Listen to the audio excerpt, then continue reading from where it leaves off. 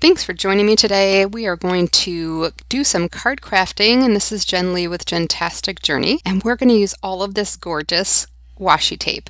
Washi tape is one of those things that I think people either love it or hate it, or maybe use it or don't use it. I'm one of those people that I do have some of it. I don't use it a ton, but when I do, I really like the outcome. So today I decided I needed to use some of this beautiful washi tape I've been hoarding for a little bit. So this set is all geometric shapes and kind of outer space stuff and things like that. So I'm going to use my sticky scissors. This comes in different widths. The hardest thing for me about washi sometimes is finding where it starts. And so at first I was going to use this card base, but then I decided that it's really a lot easier if you can use a card front, so a piece of paper that you'll attach to the card base itself.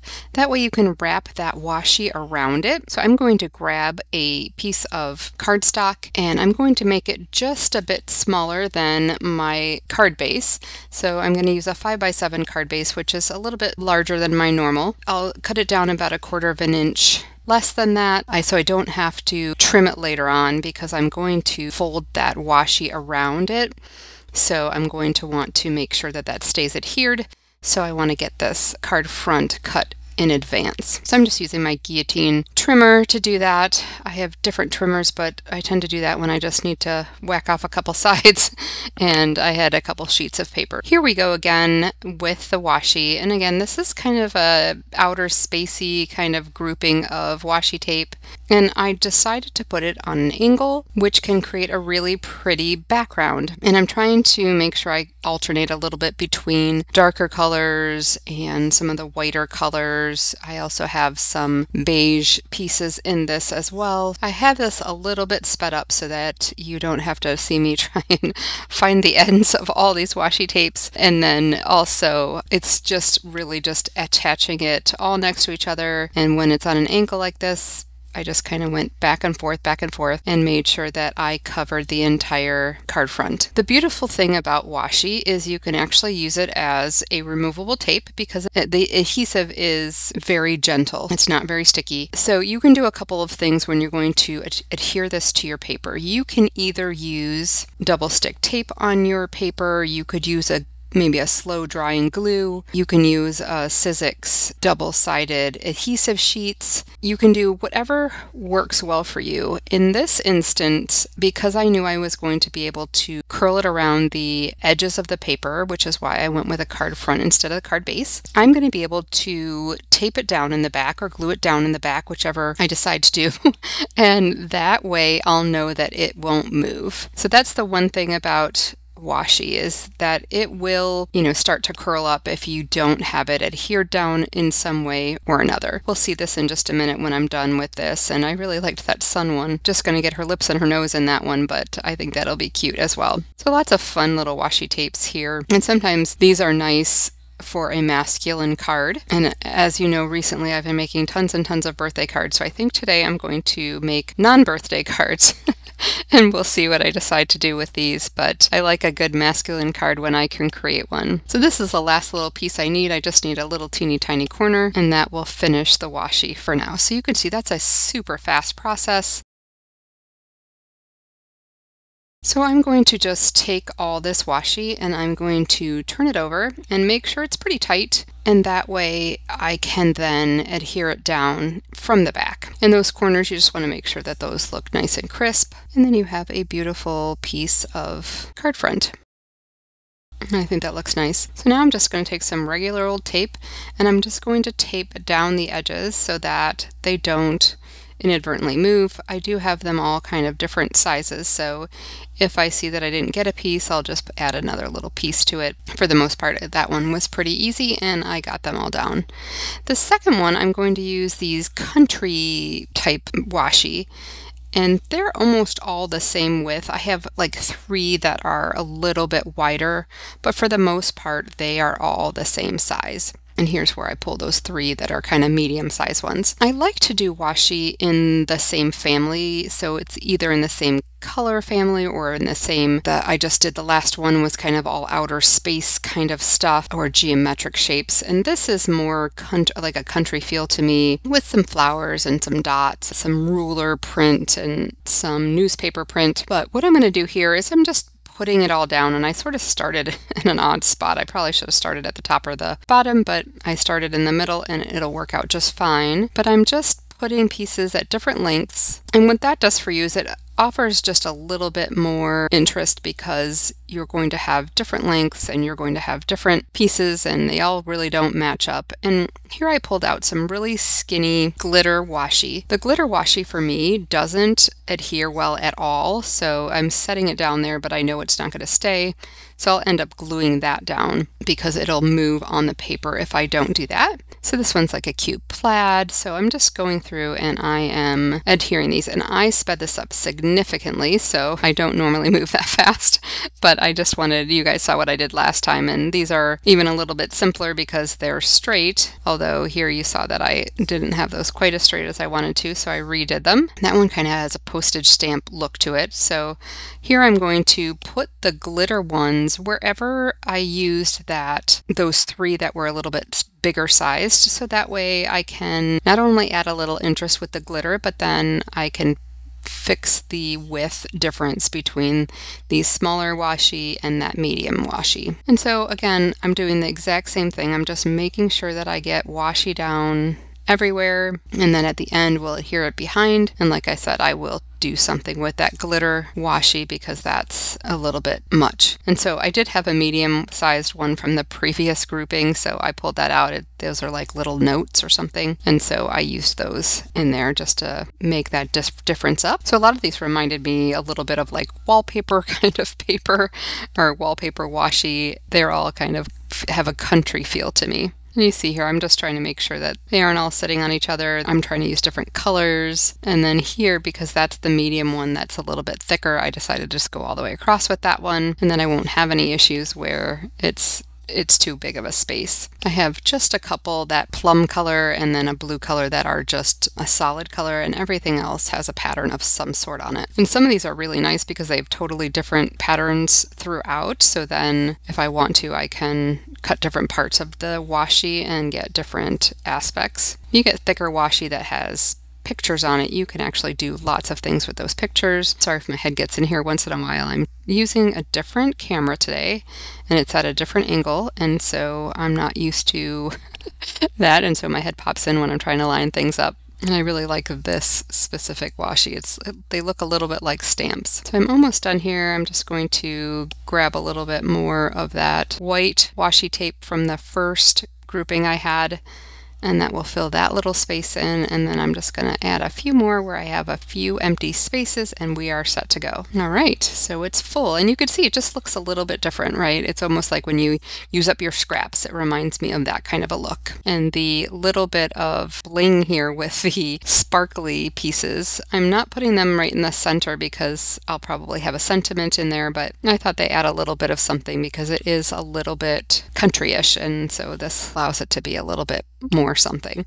So here you saw that glitter piece already fell off. So I'm going to actually glue those down, but those will be the only ones I glue down. Everything else I'll just adhere on the back again because this is just a card front, so it's just a piece of cardstock, and we'll end up ad adhering this to a card base. Then um, this little piece fell off, so I was going to adhere that. And then I just make sure that all of the edges look good see if I have to add any adhesive on those and I didn't feel I did needed to. So again I'm just going to fold everything over and then we'll use some tape. Again I could have used adhesive sheets on the front of this card front. That would have prevented me from having to do all of this piece of it, but it works out just fine. As long as you plan ahead and use a card front instead of your card base, you should be just fine. The washi will curl if you have it cut off straight across, so that's why you want to either turn it over like I did and wrap it around or glue it down. Okay, and then I've decided I'm going to use a couple of dies for my sentiments, and in order to make these all cord coordinate nicely, I'm putting some double-sided tape, and this is just double-sided scotch tape. You can use whatever tape you have, or you can use, again, some adhesive sheets. I have adhesive sheets. I just don't know why I don't pull them out, but my tape is all right in front of me, so I use sometimes what's in front of me. And so that means I need to move things around on my desk. Anyway, so what I decided to do here is I'm just putting a bunch of the washi on this scrap piece of paper and I'm going to cut my die sentiment out.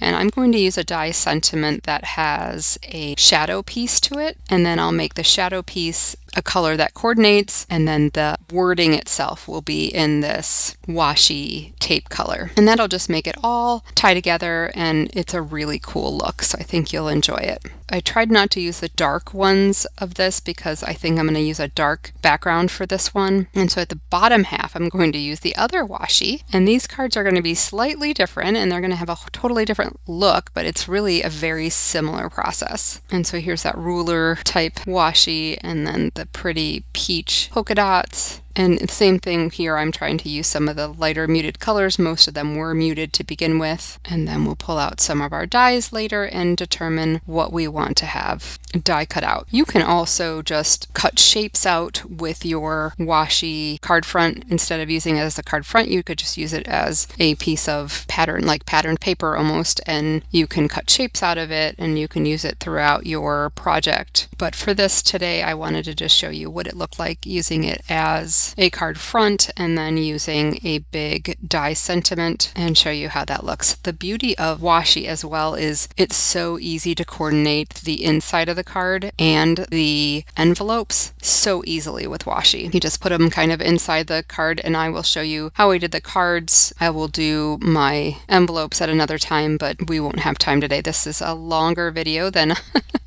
than I hoped. Just this takes a little bit of time just to put all this washi on here, even though I sped it up. It does take a little bit of time. So I'm just pushing everything down because I do have the double-sided tape. And here's where I can actually cut it straight off. I don't need to pull it around because I have that double-sided tape. So it's got the extra adhesive. And so you don't need to be perfectly accurate with that because you're going to die cut it out anyway. So here I'm going to pull out all of my die sentiments and I keep them in these plastic envelopes and I have a magnetic magnetic sheet behind it and that's how I keep my dies. And this die sentiment says celebrate. It's it's a nice one but it's longer than the piece that I use so I have to add a little bit more washi just to make this one usable but I think a celebrate card would be perfect for my collection and I think it'll get a lot of use because I did use a celebrate card yesterday for a friend of mine who got a promotion. So celebrate cards are nice because you can use use them as a birthday card in a pinch, or you can use them for different events. So here we're just extending the size of that scrap piece so that we can make sure the celebrate fits, and it'll fit perfectly. And I'll put that at an angle since it's angled also in the card on the card front. Okay, and for that second side,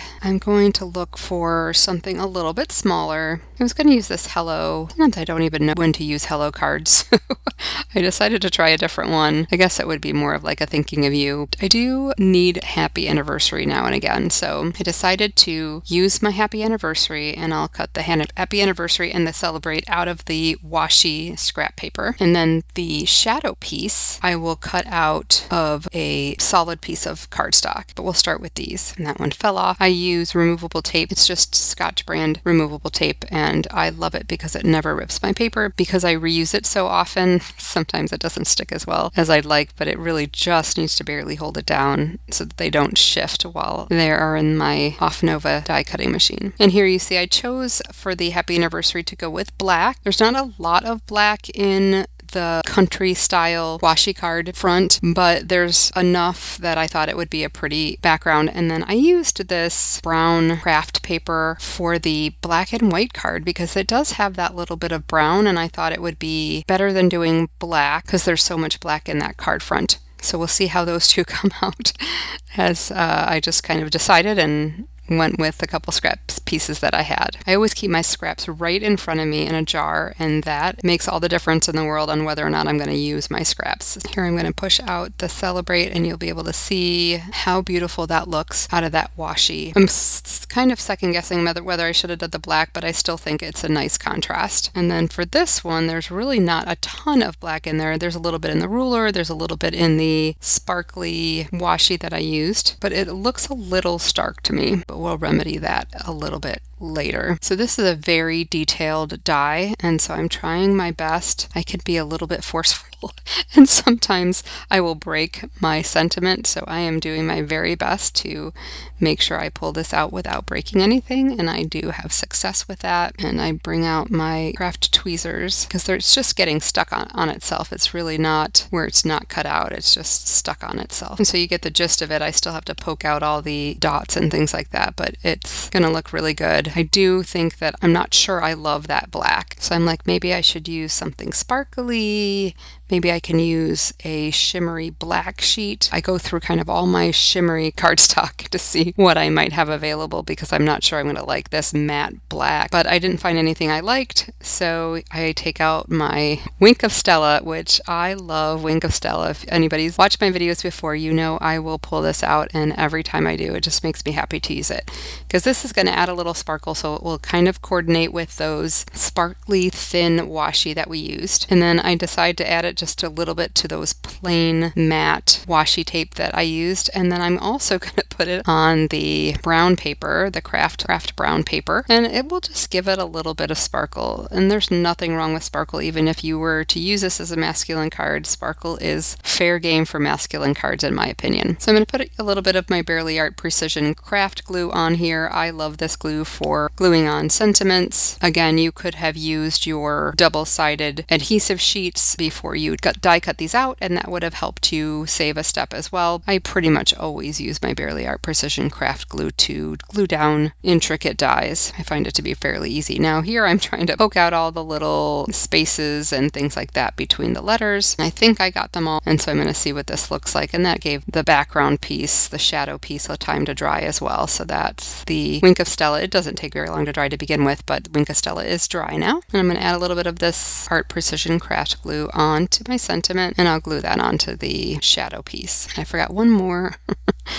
I'm not going to be able to get it out while I'm holding it and I'm afraid the glue is going to dry so I'm just going to glue it down. The Bearly Art Precision Craft glue dries a little bit faster than some of my other glues so uh, sometimes I can't fiddle around with things with that glue so I waited and I'm just going to pull it out here and it worked out just fine. I'm just going to use a rag to get the, some of that extra glue that I had on there and I think that came out really pretty that happy anniversary. I've decided that I'm going to use some of this vellum and the reason why you'd use behind a sentiment is when you have a background that's very busy. And my backgrounds with all that washi is very busy. And so sometimes that sentiment could get lost. So I pulled out some of my dies and these are going to just give it a little bit of diffusion of that all that color and busyness. So that bigger one is going to be for the happy anniversary and the longer one is going to be for the celebrate and I think that'll give it just enough and it won't take away too much from that background either. So here I'm going to adhere my card front to my card base but it actually I didn't measure it very well earlier so I am going to have to trim off just a little bit of that so that it measures a little bit more accurately all the way around and then here see how that just just diffuses it enough where you're not going to lose that sentiment. And it's a beautiful sentiment, so you don't want to get that lost. And here I'm just adding some of my Bearly Art Precision Craft Glue on the back of that instead of popping it up. Sometimes I'll pop that up but with some foam tape, but I didn't feel I needed it here. And so this is where your little cutting mat can help uh, when you're trying to line up a sentiment. Use your tools, especially if it's right, right there in front of you. This is my other one, and you can see here I'm going to turn it and make it a horizontal card. And then again, I think that the vellum just helps that sentiment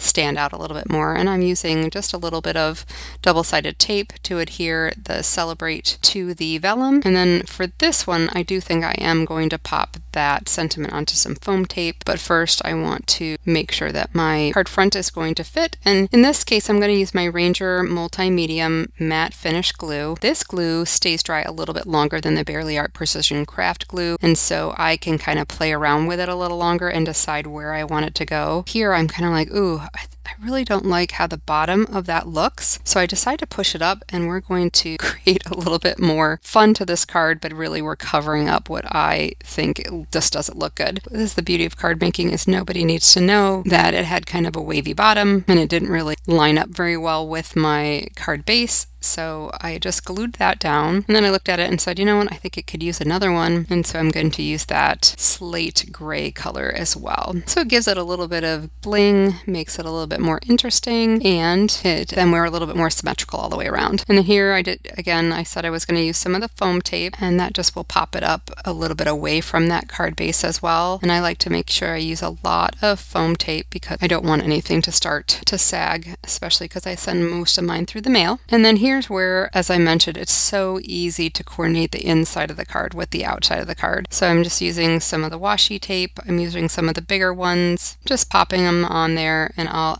I'll end up gluing them down because I'm not going to be able to wrap this around like I was when we used a card front. This because this is actually on the card base. And then I'm also going to add a little bit of the sparkly washi. Might as well make it fully gorgeous. When I'm going to do the inside of a card, I do tend to do these same two corners, and that's because my two whomever is usually in that top left corner, and then my from Jen is at the bottom right corner, and so I leave those blank. And then I usually just do those two corners. And I love how that coordinates. I do think this needs a little bit more bling even if this is a masculine card, you can put some of these black gems on there and I think it will give it just a little something. There is a lot of that vellum showing and so might as well add some to that. I could have added some around it. I could have used Nuvo drops or any kind of drops that you that you use, but I just put three of them on there and it adds just a little bit something. So back to this other card. I'm about to adhere this and I had to flip it over because it does have some words and some numbers and I don't love the way the edges look and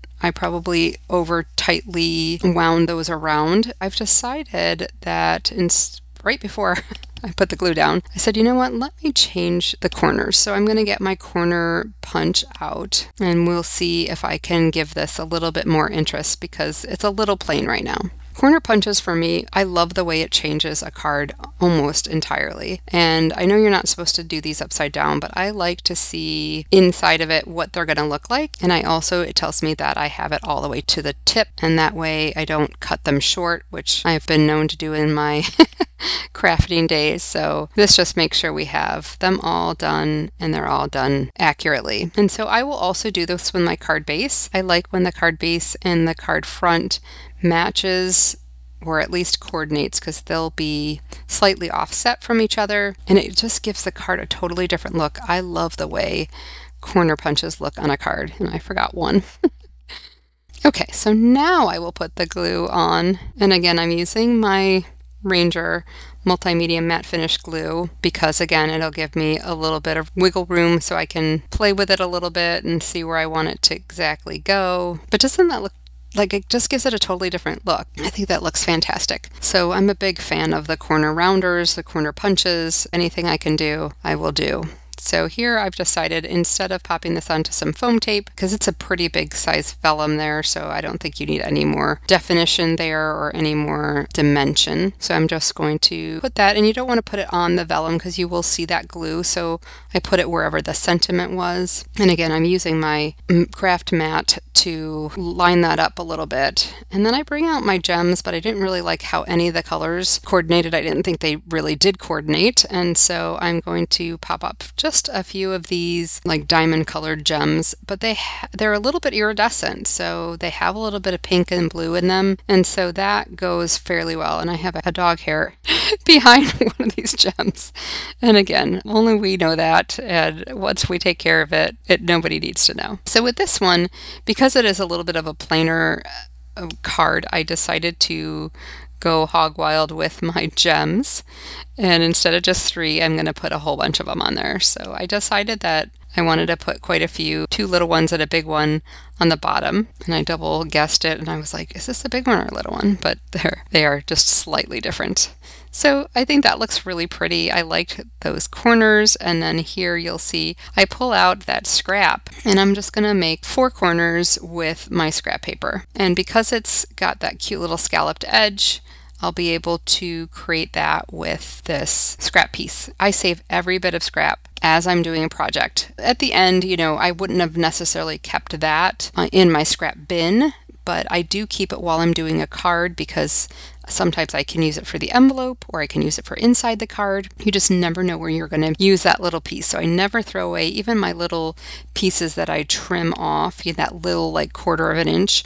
Sometimes I use that on the inside of the card and it's just enough to coordinate everything together. I love coordinating insides and outsides and envelopes. It is my favorite thing to do with card making. I feel like that's kind of what differentiates what you can do when you buy a card. A lot of cards don't coordinate the envelope and the inside and the outside and the whole bit. So I think in card card making and card crafting, that's what kind of sets it apart. So again, uh, you know, the ones at the top, I'm making them a little bit smaller. The ones at the bottom, I made a little bit bigger. And it doesn't have to be perfect. It doesn't have to be one way or another. It's just I wanted to give myself space to be able to write at the at the top. So and also it's a little bit harder to navigate those. So I I just wrote in the shape and then I'm cutting it out partially and then gluing it and then cutting off the other piece with my little, these are my Tim Holtz small scissors. I love them for fussy cutting. I love them for getting into tight places. I just make sure I don't use it. Even though they're titanium, I try not to use them with sticky stuff. I have one set sticky thing,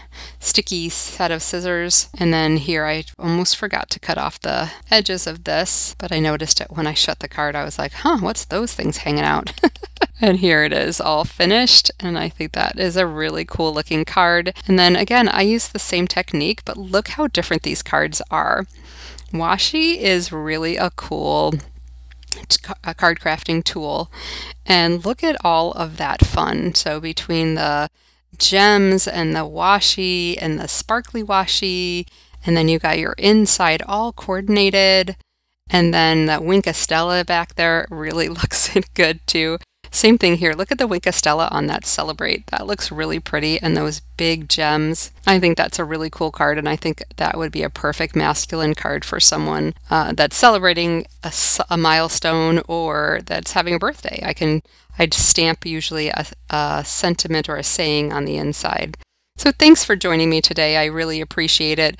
If you would please click the like button if you enjoyed this content and share this with your craft minded friends. They might enjoy this too. Also, don't forget to subscribe. I'm a small channel and all your subscriptions really do help and it helps you too because then you're notified when I have new content. And if you want a true notification, you hit that notification bell and it tells you every time I put out new content, which is twice weekly. I look forward to seeing you in the next video. Thanks for joining today.